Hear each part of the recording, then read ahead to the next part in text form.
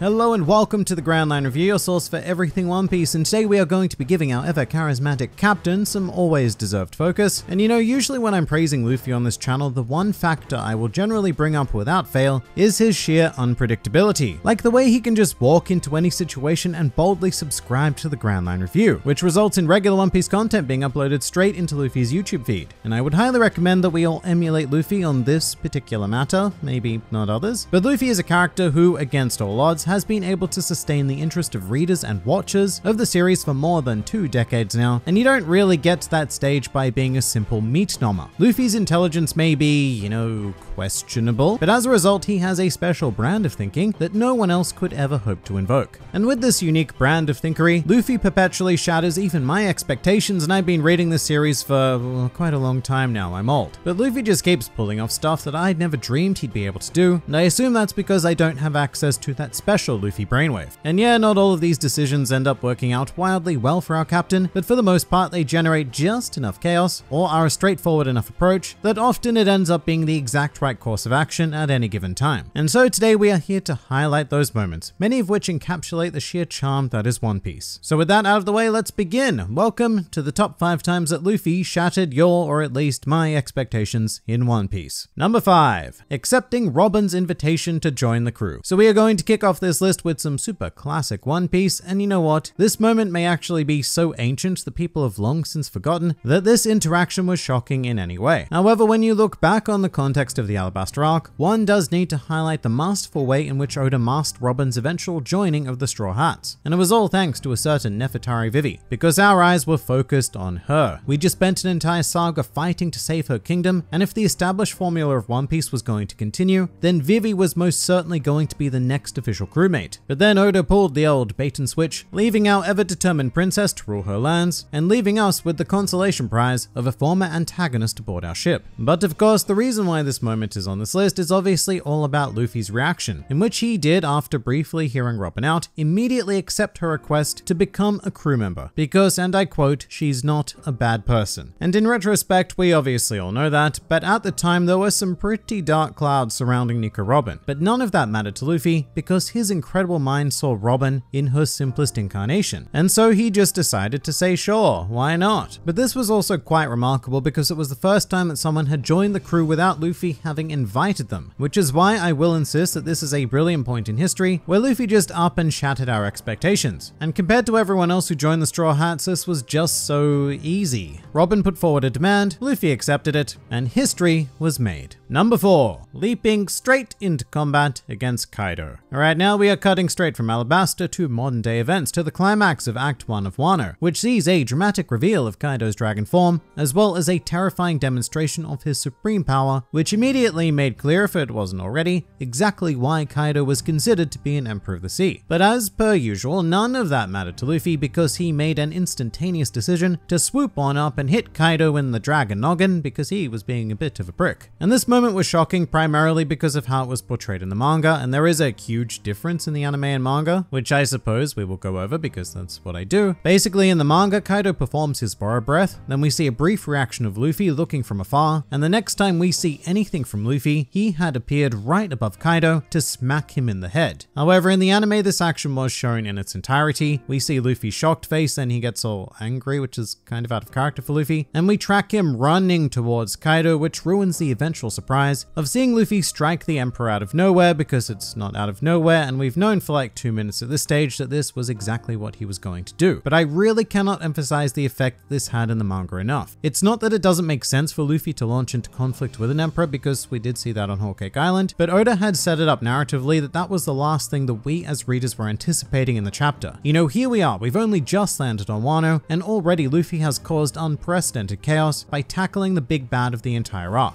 A classic Luffy maneuver right here, devoid of any real sense, logic, or planning, and hey, this is one that didn't work out too well for Mr. Captain, although as with everything in One Piece, in the long run, it certainly did. Number 3. Declaring war on the world government. Moving to the glory days of Enies Lobby now, and by the time that Luffy had reached Robin via invading the island and defeating a member of CP9 all on his own, you would have thought that this was about the most shock that he was capable of generating. I mean, this was, I think, the first example of the Straw Hat straight up raiding an island, and it was incredibly exciting, but Luffy was going to take things a big step further, as when facing the reality of not just CP9, but having the entire world declare war on him, Luffy instead decided to take some initiative and declare war on the world first. And while in the end it achieves the same outcome, it does so with significantly more style and flair. And not only that, but it sent a powerful message to Robin that her crew was not afraid to make the entire world their enemy just so that they could have her back which was very powerful because Robin's life story was about the world being against her. And this is also another one of those situations where this event might be so old that people have really forgotten its initial impact, because before now Luffy and the Straw Hats were still small-time pirates. I mean, yeah, Luffy had beaten a Warlord of the Sea, but it didn't earn him all that much recognition in the grand scheme of things. So here we have a band of rookies who have forced their way onto one of the world government's most secure facilities, in theory anyway, and Luffy metaphorically pulled down his pants and took a steaming, fiery crap all over everything that they stand for. This was quite the boss move and without a shadow of a doubt, one that shattered all expectations that I had of Luffy at the time. Number 2. Punching a world noble. Alright, here we go. I feel like many of you are probably expecting this and for very good reason. Because it is one of the most incredibly satisfying events to have ever occurred in One Piece, and even knowing Luffy as well as I did by this stage, I still did not expect him to go quite this far. And it's actually very interesting because weirdly enough, this one simple punch held far more power than even declaring war against the entirety of the world government as we have just seen on Enies Lobby. I mean, striking a world noble was a serious enough offense for a Marine Admiral to be immediately immediately summoned to take retribution upon the offending party, and as we know, Luffy is always the offending party. And I guess it's not that we didn't know this going into it, but Luffy knew the risks of what he was doing, and he did it anyway because Luffy. And by this time, you'd think that we could have predicted behavior like this, but I guess just because of how high the stakes were this time around, there was a sense of no, not even Luffy could go that far. It would put a target on his head that would probably destroy the entire crew, which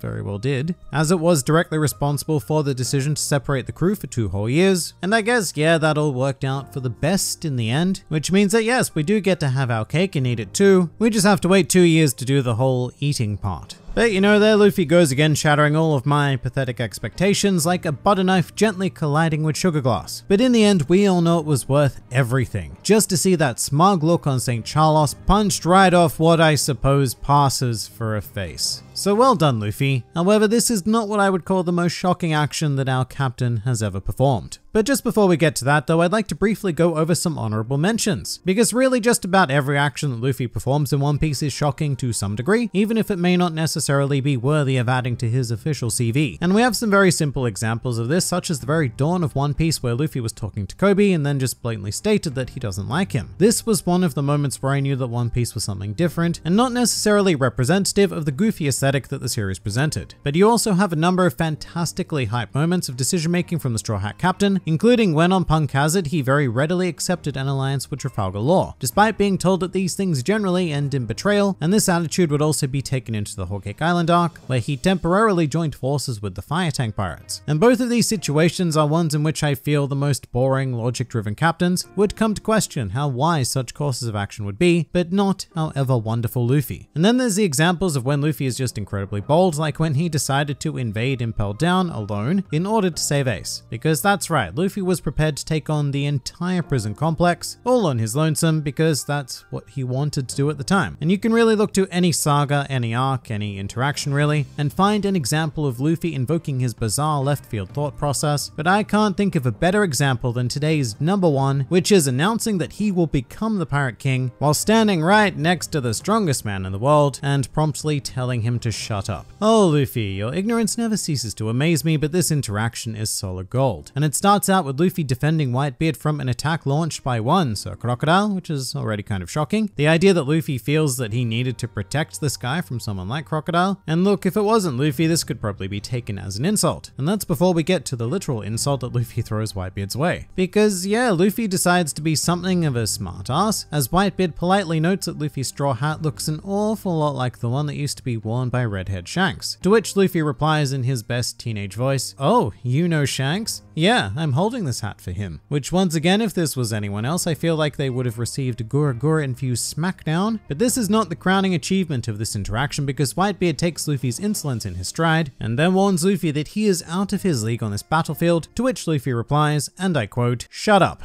That's not for you to say. I know you're trying to become the Pirate King, but I'm going to be the Pirate King, not you. And there you have it. Not only did Luffy just tell the strongest man in the world to shut up, but he also claimed that he would surpass him to become the Pirate King. And I really don't know how much more Luffy you can get than this. To stand right next to quite possibly the most undisputed individual source of authority on this planet, and proceed to talk smack, is the paramount example of why I love this character. There is no force on this planet capable of keeping Luffy in line. Not the Marines, not the government, not the overlords of the world at large, and not even the most physically powerful individual that One Piece has to offer. In my eyes, Luffy is less of a man and should more technically be considered some kind of natural disaster, because he is completely uncontrollable and it will often result in untold destruction. That, ladies and gentlemen, is our captain, and until the day this series ends, I am convinced that he will only continue to shatter our expectations. But what do you guys think? Please do leave your thoughts down in the comments below or even join my Discord server. And if you're keen for some more One Piece content, then please do go and check out some of my other videos or even subscribe to the channel for regular One Piece glory delivered straight into your YouTube feed. But for now, this has been the Grand Line Review, and I'll see you next time.